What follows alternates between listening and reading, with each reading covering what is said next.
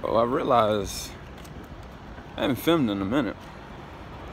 Like, I mean, like film, film, not like YouTube reaction film, but like just been open and actually film. Gotta change that. I think, uh, I think I'm, uh, I'm gonna film something. And it's got to do with how I feel.